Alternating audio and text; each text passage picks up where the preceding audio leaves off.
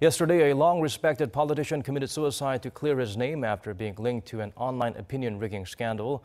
A mourning altar has been set up in Yonsei University Severance Hospital in Seoul. Thousands, including fellow and rival lawmakers, already bid their last farewells to Roh Hoe-chan.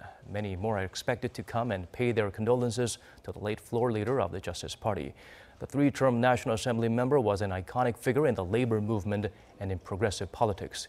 He jumped to his death amid an investigation into allegations that he had received illegal political funds.